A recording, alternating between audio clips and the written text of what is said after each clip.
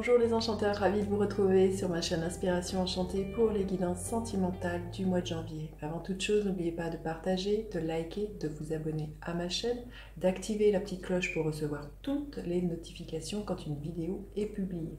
Je vous invite aussi à aller voir en barre de description si vous désirez une guidance personnalisée avec moi. Vous avez mes coordonnées pour pouvoir me joindre. Vous pouvez aussi aller voir les guidances du mois de janvier, je vous mets le lien ici, et les guidances panorama, je vais mettre le lien ici aussi.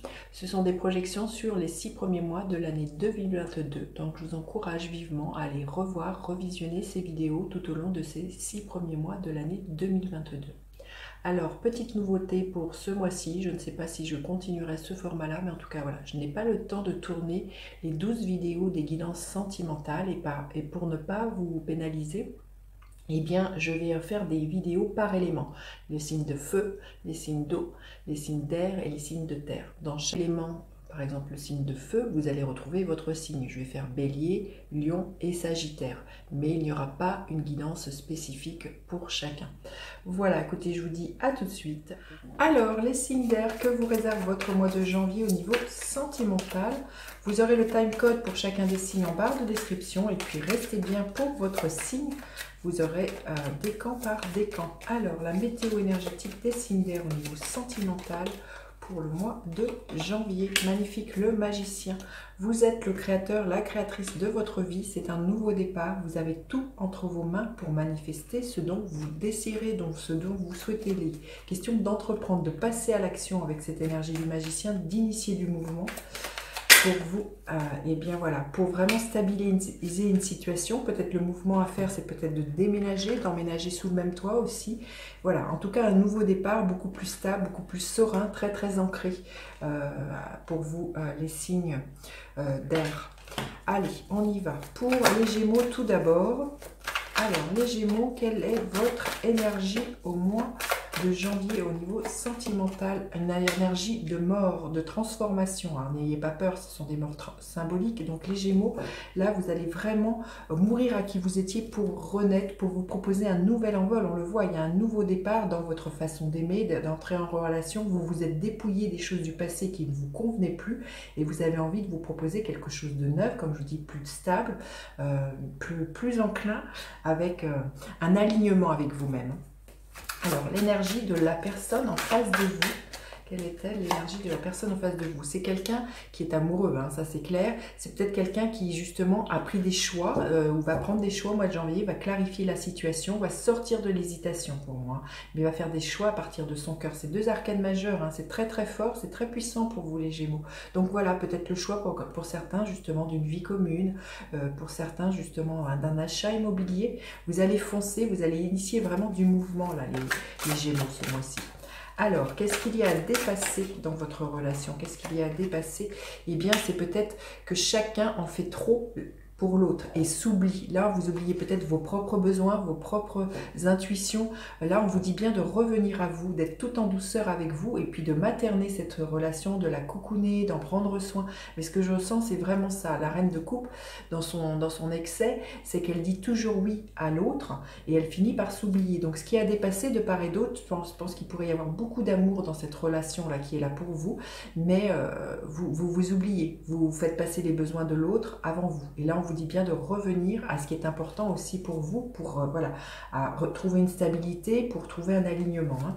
Alors, qu'est-ce qui vous porte dans cette relation? Qu'est-ce qui porte dans cette relation? Qu'est-ce qui porte magnifique hein? il y, a, beaucoup d'épanouissement, beaucoup de soleil, beaucoup d'amour. C'est très très beau hein, comme tirage, là, les Gémeaux. Euh, il a envie de briller, l'envie d'être en lien avec la joie de son enfant intérieur. Il y a beaucoup de créativité pour moi. Euh, c'est vraiment quelque chose qui vous porte et c'est une, une union qui vous rend heureux hein, de part et d'autre. Quelle est la dynamique de votre relation? Quelle est la dynamique de votre relation? Énergie de la lune, magnifique, hein vous avez le soleil et la lune. Euh, la dynamique de votre relation, c'est que je pense que vous arrivez à dépasser quand même vos peurs, hein, de l'un et l'autre. Euh, vous arrivez à dompter ces peurs, vous arrivez vraiment à faire... Euh, à, faire avec les cycles, hein, avec l'énergie de la lune pour moi, et à être vraiment connecté à à votre imaginaire, à votre façon d'avoir envie de créer cette nouvelle vie. Vous voyez, le magicien, comme je vous dis, il fait sortir de son chapeau la vie dont il rêve. Donc là, vous êtes connecté à votre rêve depuis toujours, votre grand rêve d'amour, là, les Gémeaux. Hein. Ça, c'est vraiment la dynamique de votre relation et c'est surtout que vous domptez vos peurs. Alors, quelle est l'énergie à la fin du mois pour vous, les Gémeaux? Quelle est l'énergie qui est là pour vous, les Gémeaux, en la fin du mois? L'énergie du pendu. Il y a peut-être que des choses qui vont euh, stagner en fin de mois. On vous invite vraiment à voir la situation sous un nouvel angle, à ne pas forcer, justement, et bien aussi à ne pas vous sacrifier. C'est ce que je vous disais tout à l'heure. Hein. Là, on vous invite vraiment à ne pas euh, faire passer l'autre, les besoins de l'autre avant vous. Voyez les choses différemment. Et puis, euh, si les choses n'avancent pas comme vous voulez, on vous dit bien de lâcher prise, on vous dit de profiter du moment présent, là, les Gémeaux. Hein, c'est ce que, c'est ce que l'on voit. Allez, profitez justement de, d'être en lien, d'être dans, ce, dans cette relation euh, pour, pour vous coucouner. Allez, on va demander euh, un message supplémentaire pour vous, les Gémeaux. En tout cas, c'est magnifique. Hein. Dites donc, vous avez euh, que pratiquement des arcades. 1, 2, 3, 4, 5 arcades majeures, les Gémeaux. Ça va être un mois au niveau émotionnel très très fort, hein, je pense. Alors, quel est le conseil que l'on veut bien donner pour les Gémeaux? Conseil pour les Gémeaux. Quatrième chakra, Archange Raphaël. Il y a des guérisons dans l'air hein, pour moi, avec euh, l'Archange Raphaël qui est vraiment l'ange qui guérit. Quatrième chakra, chakra du cœur. Il y a des guérisons au niveau de votre cœur. On vous dit bien de donner, recevoir, mais pour moi, dans la justesse, dans la voie du milieu. Pas en faire trop ou pas aussi de vous fermer à l'amour pour moi. Et euh, c'est vraiment euh, de vous ouvrir à cet amour-là. Magnifique. Hein. Allez, pour le premier décan, qu'est-ce qui est là? Magnifique le 10 de coupe, hein. donc il y a vraiment des très très belles réalisations. Vous atteignez votre rêve. Hein. Pour, certains, ça peut être vraiment d'une vie commune, d'un achat de quelque chose, mais vraiment euh, au niveau émotionnel, le 10 de coupe. On arrive à la fin d'un cycle et c'est l'apothéose. Hein. Pour moi, le 10 de coupe, c'est le happy end. Allez, le deuxième décan, qu'est-ce que l'on veut bien vous dire? Sortez de vos peurs, le deuxième décan. Euh, il n'y a pas, pas ça n'a pas lieu d'être, c'est dans votre tête les peurs. Arrêtez les scénarios avec votre mental. Et le troisième décan, qu'est-ce que l'on veut bien vous dire? Le 5 euh, de bâton. Peut-être que votre amour suscite des jalousies. Si ce n'est pas ça, c'est euh, vous avez peut-être des, petits conflits à l'intérieur de vous. Il y a vraiment peut-être des choses qui viennent vous challenger. Euh, mais on voit qu'il faut lâcher prise là, les Gémeaux. Hein. C'est vraiment l'invitation pour vous pour ce mois-ci. C'est le conseil qui vous est donné. Voilà, écoutez, j'en ai fini avec cette guidance. Dites-moi comment celle-ci résonne, comment vous passez votre mois de janvier. N'hésitez surtout pas à partager, liker, vous abonner à ma chaîne. Je vous dis à bientôt pour d'autres guidances. Bye bye les enchanteurs. Alors, les balances, que vous réserve votre mois de janvier au niveau sentimental Alors, tout d'abord, quelle est votre énergie ce mois-ci au niveau sentimental Quelle est votre énergie L'as de bâton, envie d'un nouveau départ, d'ouvrir une nouvelle page de votre vie, d'écrire, euh, voilà, euh, un nouveau chapitre, hein. beaucoup d'élan, beaucoup de motivation. Euh, vous pourriez avoir la tête à une rencontre très très passionnelle, très charnelle, très créative avec cet as de bâton. On est dans du feu, donc vraiment, il peut y avoir une très très belle raccord au niveau sensualité hein, pour vous les, balances hein, ce mois-ci. Hein. En tout cas, vous avez envie de renouveau. Hein. Vous avez vraiment envie, peut-être pour certains, de ramener la flamme au sein d'un foyer. Vous avez vraiment envie euh, de retrouver cet élan, ce pétillement des premiers instants. Alors, votre énergie, l'énergie de l'autre personne, quelle est l'énergie de l'autre personne L'énergie du roi de Pentacle. C'est quelqu'un qui a envie de construire, de bâtir, qui a vraiment euh, la tête sur les épaules. Pour moi, c'est quelqu'un qui est très très ancré, on le voit. Hein. Il peut vraiment, peut-être cette personne, c'est peut-être peut-être plus elle que vous, qui a envie d'investir dans un achat immobilier, qui a envie d'investir dans une vie commune.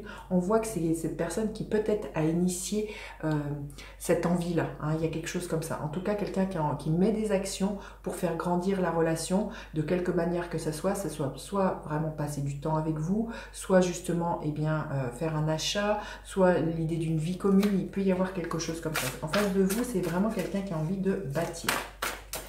Alors, Qu'est-ce qu'il y a dépassé dans cette relation? Qu'est-ce qu'il y a dépassé dans cette relation? Alors, il est peut-être question pour certains, euh, par rapport à ce nouveau départ et cette envie de construire, d'une. Euh, il y a pu y avoir, ou c'est peut-être encore là au mois de janvier, une histoire d'une triangulaire.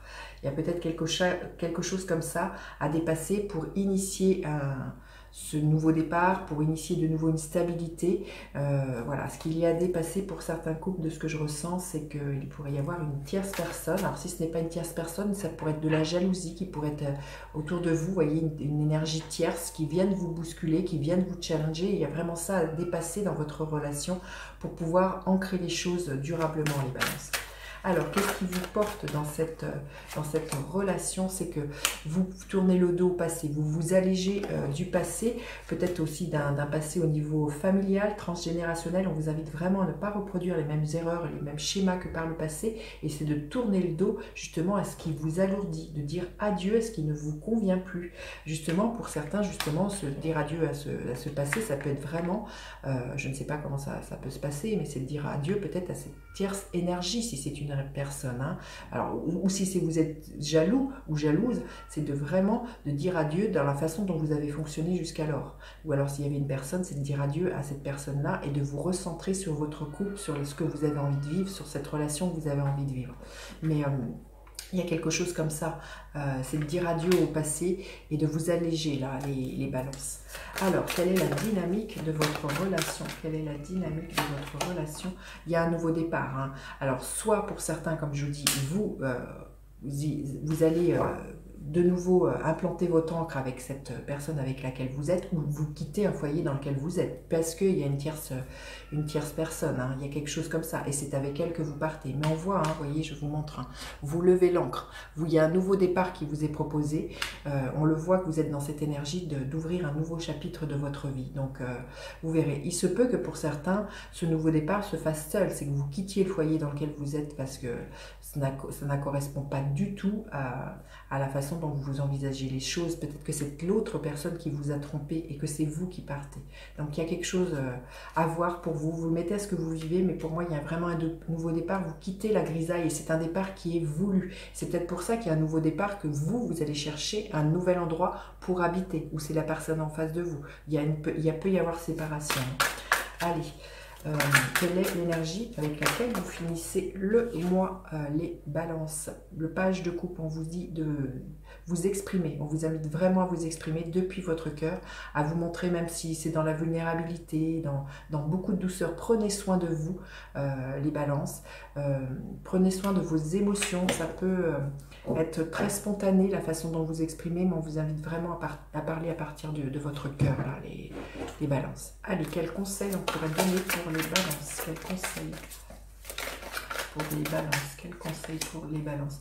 Il y a de multiples possibilités. On le voit de toute manière. C'est partir ou rester pour certains. C'est vraiment aussi euh, se, se, rabibocher après une expérience qui a été douloureuse puisqu'il y a eu euh, tromperie. Ça peut être quitter cette personne pour aller vous vous installer seul ou que l'autre personne vous quitte pour vraiment aussi... Euh, voilà, il y a de multiples possibilités. Vous le mettez à ce que vous vivez les balances.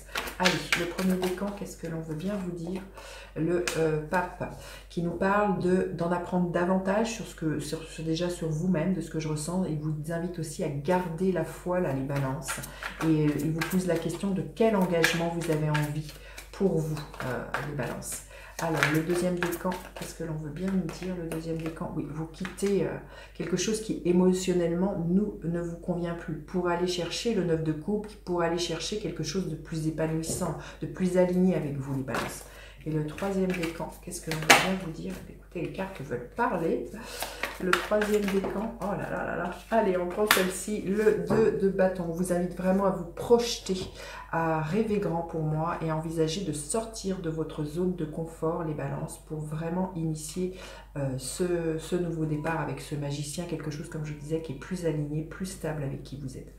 Voilà, j'en ai fini avec votre guidance du mois de janvier. N'hésitez surtout pas à partager, liker, à me laisser des commentaires dont j'ai toujours très grand plaisir à lire.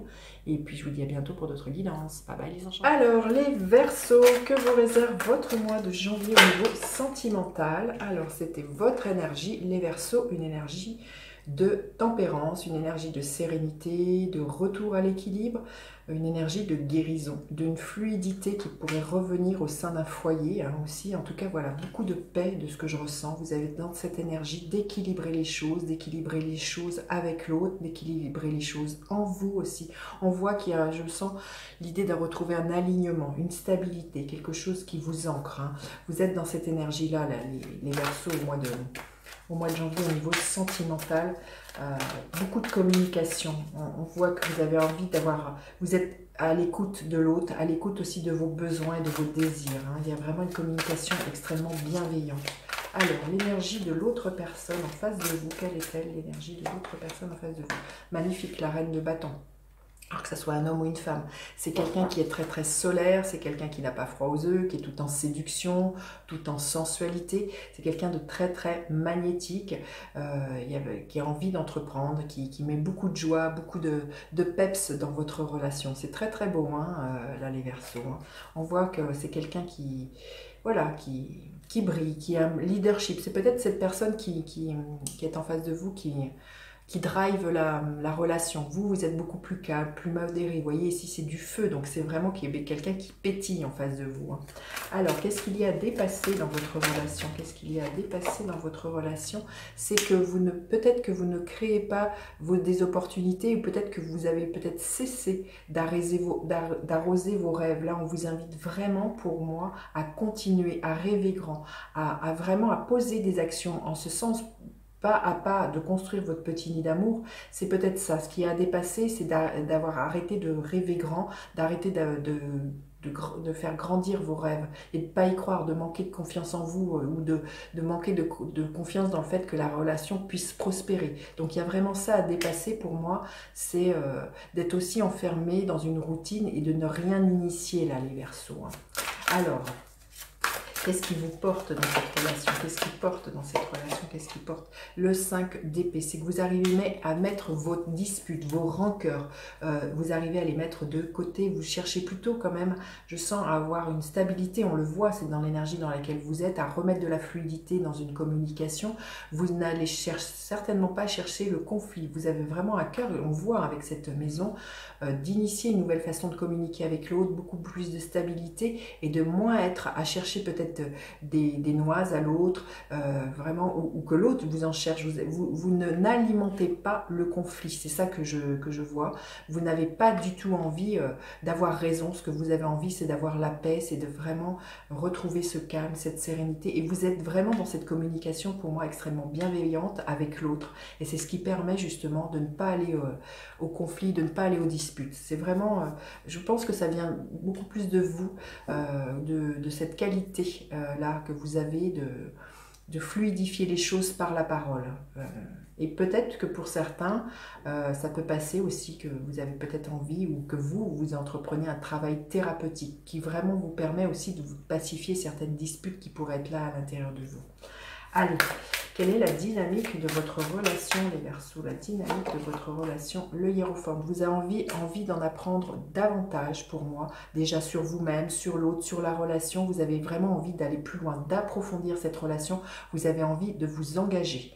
Hein, on le voit avec cette maison qui nous parle vraiment d'une stabilité, de quelque chose sur lequel on peut construire, quelque chose qui s'ancre.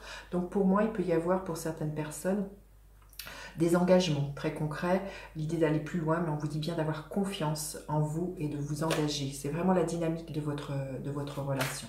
Et quelle est l'énergie qui est là pour vous à la fin du mois. Quelle est l'énergie qui est là pour vous à la fin du mois? Les versos, l'énergie de l'ermite. Vous faites vraiment confiance à votre propre guidance intérieure pour moi. Vous n'écoutez pas les autres qui pourraient être autour de vous en disant moi à ta place je ferai ci, ça, ça. Vous êtes vraiment euh, focus à l'intérieur de vous. Peut-être un, mode de repli sur vous, là, les, les versos à la fin du mois. Euh, peut-être une envie de solitude, hein, vraiment à l'abri. Euh, là, ce que j'entends pour vivre heureux, vivons cachés, il y a peut-être quelque chose comme ça pour vous dans votre couple, dans, dans, la relation que vous, que vous avez avec, euh, avec votre amoureux, votre amoureuse, là, les versos. Alors, vous demandez un conseil supplémentaire pour les versos pour le mois de janvier. Un conseil supplémentaire pour les versos. Qu'est-ce que vous avez besoin d'entendre, votre verso un homme qui tient une pièce de monnaie, c'est comment vous avez envie de vous investir dans une relation, quelles actions vous posez là les versos. Donc on vous dit bien, c'est pas après pas qu'une relation se construit, il peut être vraiment question pour certains de, construire un nid d'amour, d'acheter quelque chose, d'acheter un terrain, de faire appel à un conseiller immobilier, d'aller voir son banquier. Il va être question de, de valeur, d'investissement pour vous, les versos, ce mois-ci. Donc, comment vous vous investissez dans cette relation pour la voir grandir et qu'elle soit pérenne. Allez, le premier décan des Verseaux, qu'est-ce que l'on veut bien vous dire? On vous dit de sortir de la frustration, d'accepter les propositions, d'accepter aussi, euh, eh bien, euh, beaucoup plus de joie, de mettre beaucoup plus de joie, de pétillement pour moi. Et puis vous retrouvez une stabilité émotionnelle hein, pour moi, les Verseaux du premier décan. Il y a vraiment quelque chose comme ça. On le voit de manière avec la tempérance. Le deuxième décan, la reine de bâton. Donc vous avez vraiment... Euh, beaucoup de charisme hein, pour vous, vous avez, vous avez confiance en vous, vous êtes, euh, vous êtes quelqu'un qui, qui pétillait euh, les versos du deuxième décan, tout en sensualité, tout en, magnétisme. Hein, euh, au mois de, janvier, les versos. Si vous êtes célibataire, on va vous remarquer. La reine de bâton, c'est quelqu'un que l'on embarque. Hein, c'est l'énergie des, signes de feu. Donc voilà, plein de pétillement et de motivation. Et troisième décan, le 7 de euh, Pentacle. C'est ce que je vous disais, cultivez votre jardin secret, les choses se construisent petit à petit, là les versos du troisième décan, vous allez récolter ce que vous avez semé. Euh, prenez patience, tout, euh, tout vient à point à qui sait attendre. Voilà, écoutez, j'en ai fini avec la guidance, dites-moi comment celle-ci résonne, laissez-moi des commentaires, j'ai toujours plaisir à vous lire, n'hésitez surtout pas à partager, liker, vous abonner à ma chaîne. Je vous dis à bientôt pour d'autres guidances. Bye bye les enchanteurs